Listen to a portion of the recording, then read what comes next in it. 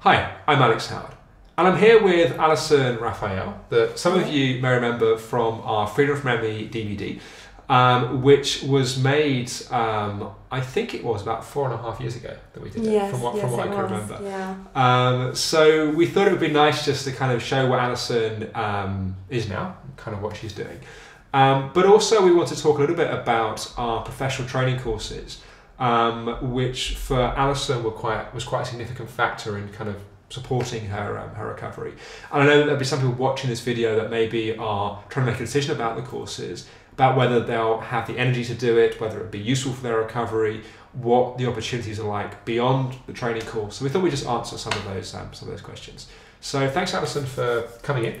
Okay. Um, so I know that when you were looking to sign up to the course and make the decision around it, that I remember we spoke on the phone, and your concern was that at that point it was a big leap beyond what you were kind of normally doing at that point. So just talk us through when you when you were kind of in that position, what you know, what your fears and concerns were, and that kind of thing. Well, I mean, I, I've been in my house for two and a half years, and I hadn't, you know, been on public transport for that length of time. I hadn't been out in any other community other than my four walls in, in my lounge. And I just knew that I had to start thinking about what I was going to do next. And I knew that I could not go back into my old career, that there just had to be another um, alternative for me. And this course came into my lap, completely into my lap, and I, I just thought there's no way I could even consider doing this course. I, you know, I haven't been out my house, I haven't even studied for like 20 odd years, um, and I just thought, you know what, I'm not even going to look at it. Because I, I remember for, for you, it was almost just getting from home to where the course was running at that point in central London. That was in of itself a, a huge challenge. Yes, totally. Um, just a completely out of not only my comfort zone, but just didn't think it was even part of what was possible for me. I just didn't. I couldn't envisage being. I actually tried to envisage being on a train, and I, I just couldn't. I couldn't even. It, it was too traumatic to even think about. Yeah, yeah, and I, I should say at this point, if there are people that are watching this that are in a similar situation, I was, um, you me saying, I was treating uh, Yes. Alison at the time as well, so I felt clear that it was a leap that would be fruitful to make, as it were. And that's not saying that everyone in that situation should make that leap. Different people have different realities of their recovery, but you know, I felt confident that given what we were working with and where you were, that actually you'd, you'd respond very positively to doing that, and you know, and thankfully that was the case. You're and- right. Yeah. it happens. and, and so then talk us through, you know, over the, the, the year of doing the course, because I know that you, you, you know, your recovery really kind of cemented and, and kind of grew massively really in, in that period. But how the course played a role in that, you know, and how, and how, it, how it supported that. Um, first of all, socially, I hadn't really been in any social situation for two and a half years other than being at home with my children and a few friends popping in. So, socially, that was major for me that I knew that I would meet the same people. Um, you know, every month at the course, and uh, you know, built up a really lovely rapport with them. So that was a support in itself. And even you know, going to the course by train as the course went on, you know, everybody arrived quite tired, and so we could talk about that. And we, you know, we all needed our food, and we needed to get ourselves sorted before we started the day. So it was all kind of similar feelings of comfort, really.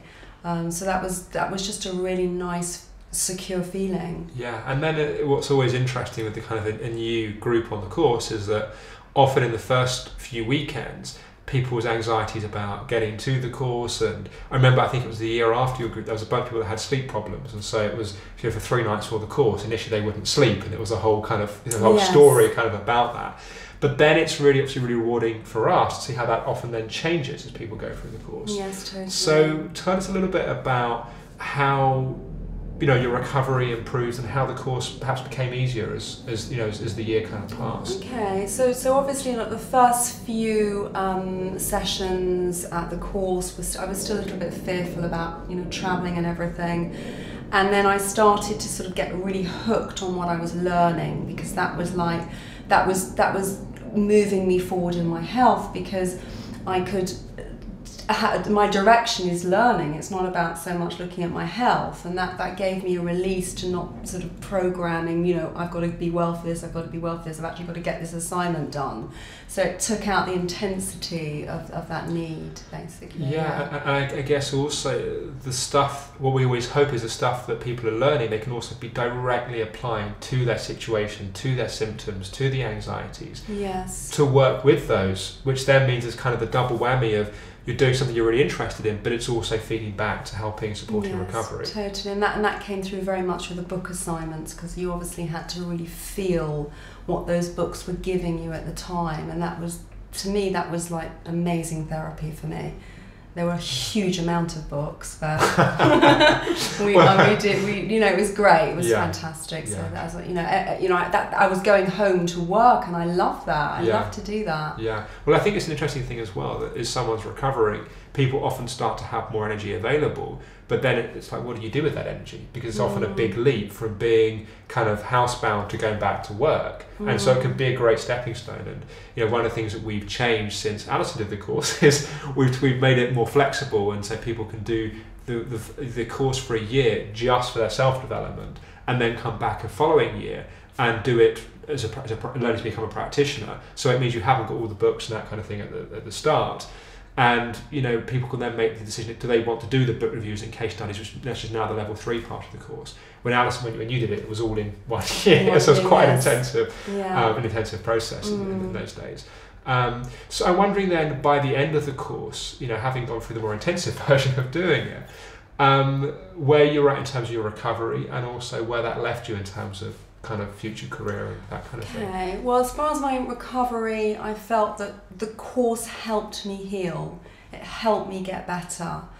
Um, I knew that, that that the course was going to be my vocation in life. I just knew through the course that it, it was for me.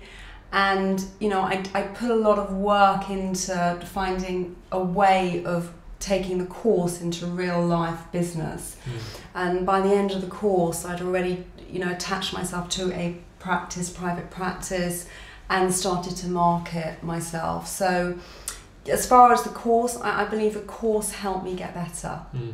Yeah, yeah, and, I really do. Yeah, and, yeah. and I think it's also one of the other questions people often have is well, you know, they, they do the course and you know then they're you know how do they go about getting clients and you know and, and, and that kind of thing and so I'm interested in in hearing about you know you know I, I know that over the last I guess it's five years since you since you completed the course.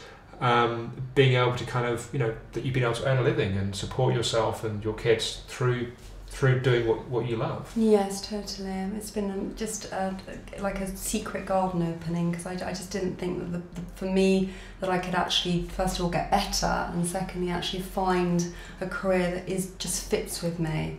So um, it, it, it's my passion. I just love what I do and I've been able to you know, create it into a business that, yeah, I'm, I'm supporting myself and, and my family. So amazing. Yeah, and I, I think, you know, talking personally as well, I know doing something for a living that you really believe in and you really mm. love you know, is, is a great is a great privilege. Yeah, um, totally. So um, I guess as a final question so people that are that are maybe watching this, sort of thinking, well, you know, they, they would, you know, they would they would maybe love to do it, but would they have the energy to do it? Would it be too much? You know, is it something that they could really do? What, what, what would you say to someone that's that's thinking? Um, I mean, as far as the energy goes, I think that you know, you, through the course, because you're being so supported by everybody on the course, and and obviously whoever is mentoring you through it.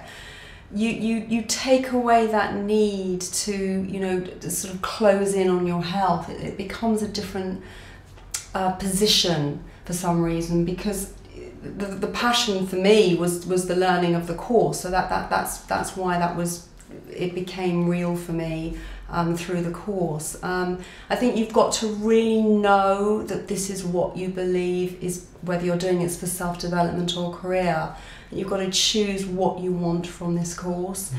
I wanted both from it and I was I think lucky enough to start very early on because I got it all in one course. Yeah, yeah. and I got I got through it and I and I, my intention was to make it into a business. I didn't know that um, how, how I how easy that would be but but actually it, it, it turned out to be pretty easy to do that.